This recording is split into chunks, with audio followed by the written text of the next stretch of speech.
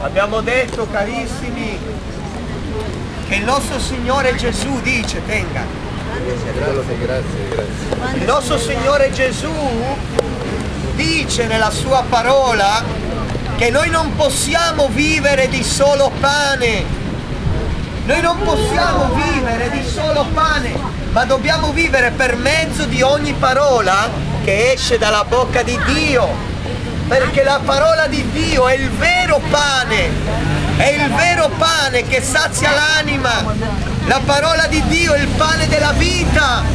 Gesù Cristo ha detto, cari, Gesù dice nel Vangelo, io sono il pane della vita che è disceso dal cielo per dare vita a questo mondo. Gesù Cristo è il pane della vita. Per questo che noi dobbiamo avvicinarci a Gesù Cristo, perché lontano da Gesù Cristo siamo vuoti, siamo persi, siamo nelle tenebre, perché Lui è la luce, Lui è la vita, Lui è la verità. Ascoltate cosa dice il Signore tramite il profeta Isaia, cari. Capitolo 55 dice il Signore, Dio aiutaci a predicare la tua parola. Alleluia. Dice il Signore, perché spendete denaro per ciò che non è pane e il frutto delle vostre fatiche per ciò che non sazia? Ascoltatemi attentamente e mangerete ciò che è buono. La vostra anima gusterà cibi succulenti. Porgete l'orecchio e venite a me, dice l'Eterno ascoltate la vostra anima, vivrà e io stabilirò con voi un patto eterno secondo le grazie stabili promesse a Davide. E poi più avanti dice, cercate l'Eterno, cercate il Signore mentre lo si può trovare, invocatelo mentre Egli è vicino, cercate l'Eterno mentre lo si può trovare, invocatelo mentre Egli è vicino, cari. Il nostro scopo supremo in questa vita deve essere quello di conoscere Dio, conoscere il Signore, cercare il Signore. La parola di Dio dice ascoltatemi e la vostra anima so. Il Signore dice ascoltatemi e la vostra anima vivrà. Per quale motivo? Perché la parola di Dio è vita. La parola di Cristo è vita. La parola del Signore è vita. Il Vangelo è vita. La parola di Dio è vita. Il Signore dice ascoltatemi, ascoltatemi e la vostra anima vivrà. Questo è il grave problema dell'umanità. L'umanità non vuole più ascoltare la parola di Dio. Gli uomini non vogliono più udire la parola del Signore. Non vogliono più ascoltare i buoni consigli che procedono dallo Spirito di Dio. Non vogliono più udire le parole della fede.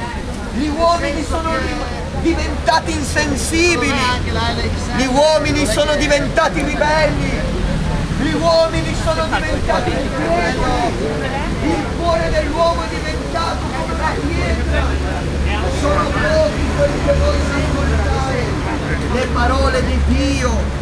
La maggior parte dell'umanità cammina nella ribellione, nell'ostinatezza, nell'orgoglio, nell'incredulità. Ecco perché il mondo si sta rovinando.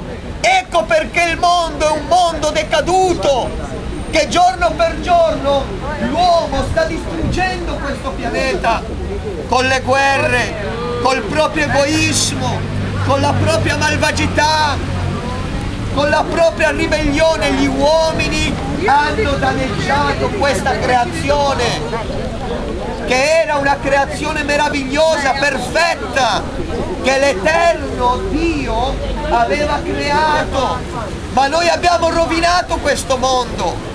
La Bibbia ci insegna, cari, ancora qualche minuto voglio predicare, la Bibbia ci insegna che quando Dio creò questo mondo, questo mondo era come un giardino, era come un giardino pieno di pace, pieno di frutti meravigliosi, era come un giardino dove regnava l'armonia fra Dio e l'uomo, il giardino dell'Eden, la conoscete la storia?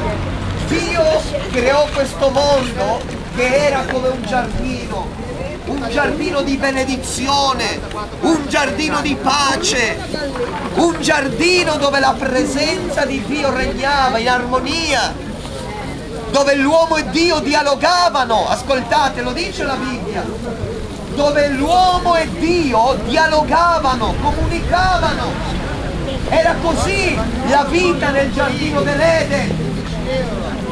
L'uomo viveva in contatto col Signore, nella luce, nella grazia, nella benedizione, nella pace, nella serenità. Ma la Bibbia dice che purtroppo, cari, gli uomini si ribellarono. Gli uomini si ribellarono a Dio. E da quando gli uomini si ribellarono, giardino che era la terra, il giardino dell'Eden, diventò come un deserto, diventò una terra arida, una terra dove non crescevano più frutti. Praticamente il giardino dell'Eden si trasformò in una terra maledetta perché gli uomini disubbidirono a Dio per colpa del peccato, per colpa dell'incredulità, per colpa della ribellione, cari.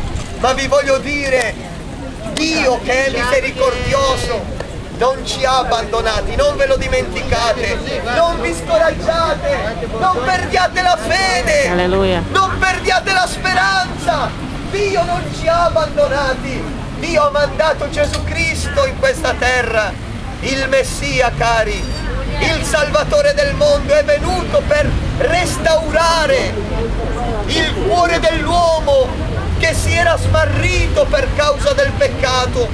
Gesù Cristo è venuto a ridarci la vita perché noi avevamo perduto la vita. Infatti Dio aveva detto ad Adamo, se tu mangi del frutto di quell'albero morirai, per certo morirai. E la Bibbia dice che Adamo ed Eva disubbidirono al Signore, mangiando di quell'albero che non dovevano mangiare l'albero della conoscenza del bene e del male. Dio aveva dato tutti gli altri alberi del giardino dell'Eden, ma loro disubbidirono. Per quale ragione? Ascoltando la voce del serpente. In mezzo al giardino arrivò il serpente. E questo è quello che fa il diavolo. Il diavolo arriva per farci disubbidire a Dio il diavolo ci mette i dubbi, cattivi pensieri, ci sussurra nell'orecchio, ma vai a fare questo, vai a fare l'altro, vai a peccare, vai a rubare, vatti a prostituire, vai a commettere l'adulterio, ma vatti a ubriacare, vai a fare il male. E il diavolo sussurra nella mente degli uomini, sussurra la disubbidienza, e oggi, cari, voi lo sapete, noi lo sappiamo, basta vedere la condizione della società, la maggior parte degli uomini stanno ubbidendo alla voce del serpente, come nei tempi antichi.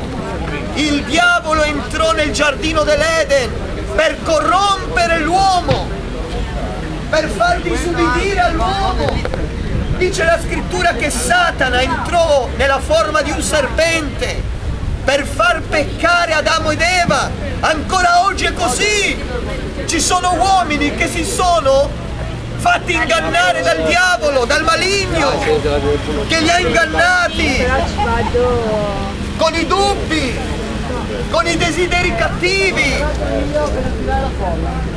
con i desideri malvagi, con la disubbidienza, la ribellione. Questo è lo scopo di Satana, farci disubbidire a Dio.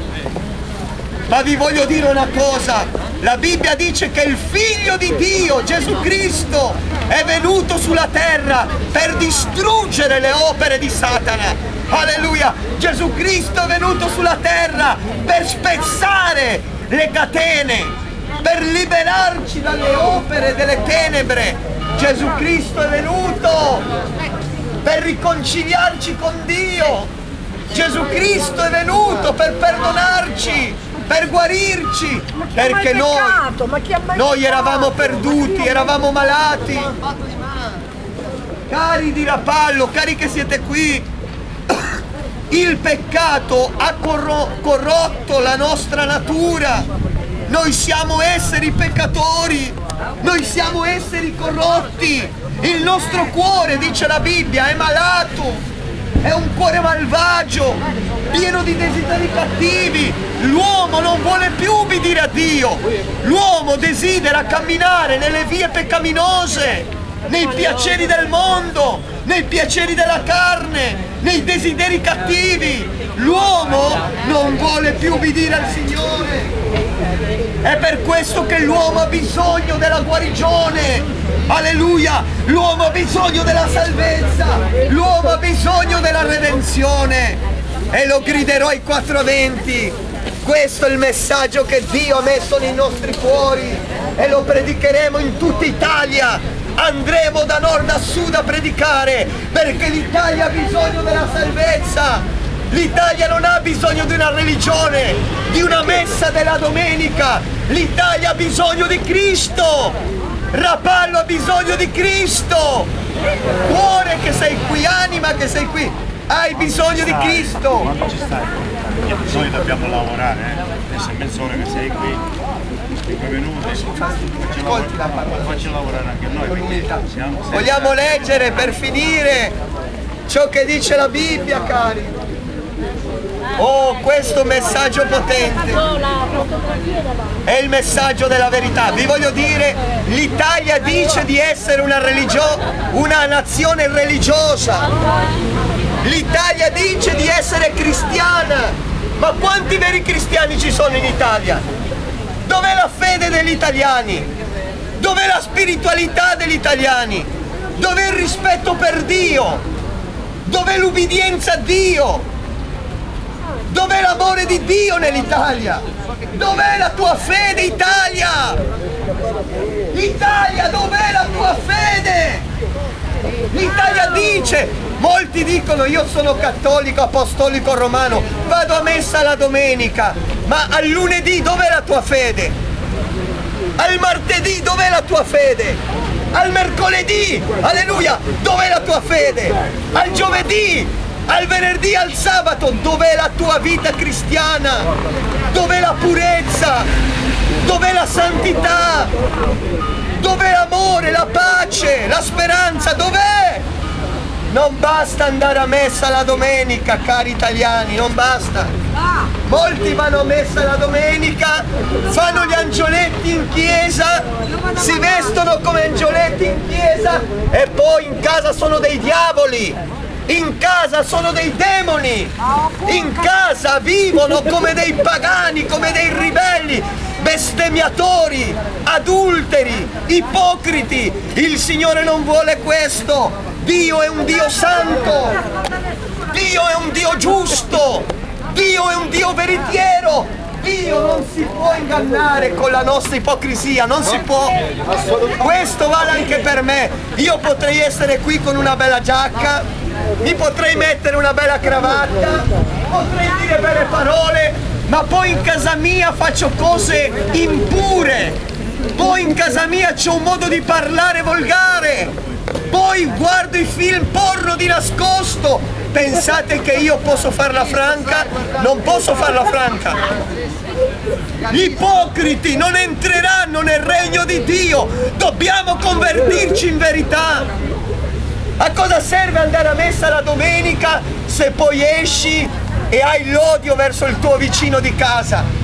A cosa serve andare a messa la domenica se poi non ami il tuo prossimo? A cosa serve andare a messa la domenica se poi non vivi in contatto con Dio tutti gli altri giorni? A cosa serve andare a messa la domenica Se poi si ha l'amante nascosta, si vive nei vizi, nell'immoralità. Fate qualcosa per le nostre orecchie.